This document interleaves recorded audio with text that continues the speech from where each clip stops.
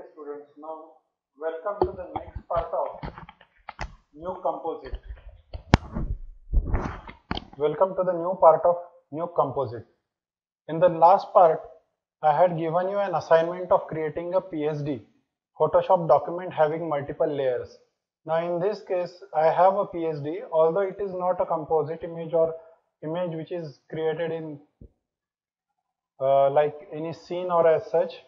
This is a sample image. Let's cut this much part so that you can see the image which is at the background.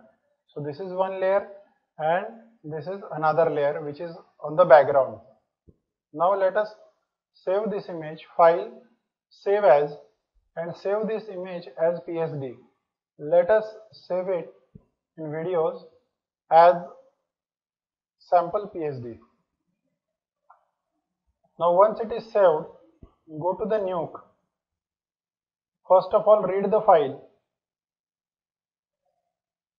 File, home, then we need to go to music.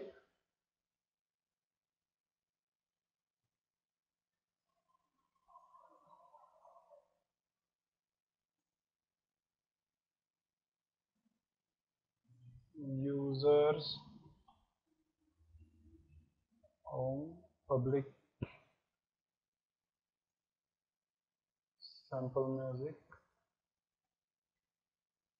Videos I think.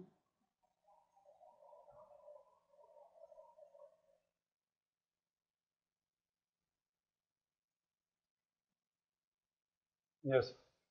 So it's in videos this sample PSD okay. Open the PSD it will be imported. Connect it with the viewer and it will be displayed over here. Now on the right side you can see the properties or attributes of PSD file. At the bottom we have breakout layers. Click on breakout layers and you will see the structure like this. If you have multiple layers then you will see multiple nodes. Let's for example create one more open one more file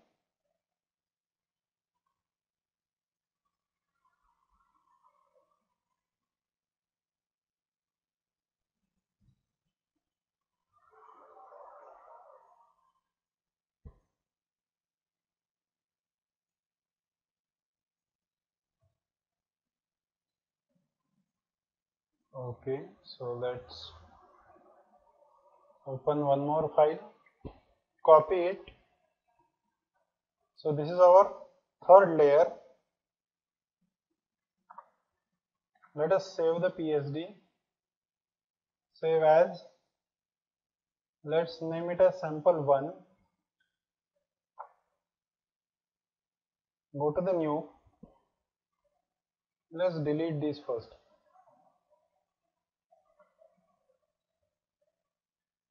delete everything. First of all, we will have a viewer node.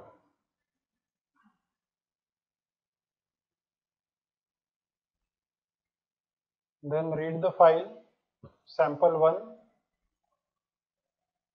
connect it with the viewer and then break out layers. So it will create nodes for all shuffle 1, shuffle 2, shuffle 3. This is for the background. Fine. You need to delete these nodes, PSD merge. Simply delete those. So now here what we will do, we will select all the merge nodes and crop nodes and delete them. We have deleted the merge nodes, also the crop nodes. Now what we need to do, take this viewer over here. You can connect it with any, with any particular node and only that node will be displayed. If you put it to shuffle 2, only shuffle 2 will be displayed and shuffle 3 will be displayed. Now what I will do, I will select this, press tab and apply pre-multiplier merge. So this is pre-multiplier pre-multiplier merge for the first node I have created. Now let us apply to shuffle 2. You can see that white portion is here. So I will apply pre-multiplier and that portion will be gone. That's why we apply pre-multiplier. After that even we can apply a crop node, crop transform. Same we can apply over here. Pre-multiplier and crop. Now let's create some other nodes. One is camera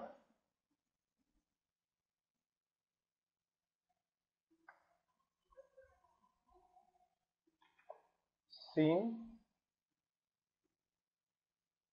but we'll create scene later on. We'll have camera tracker. This is camera tracker.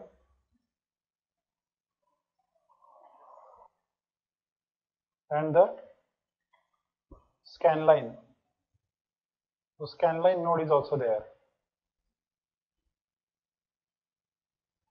Now if you double click on the camera tracker you will get its attributes.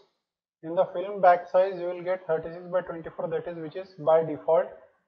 Click over here and select 3d you can also see the camera.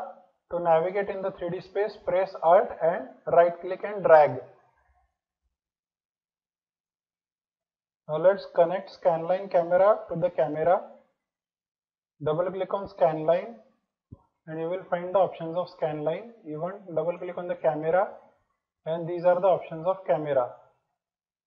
So this is scanline which we had taken. Now double click uh, now you can also go to the camera attributes. Projection under projection we have horizontal that is 36 vertical aperture that is 24 and the aperture will be adjusted. You can see the aperture over here. Whatever changes you make will be displayed over here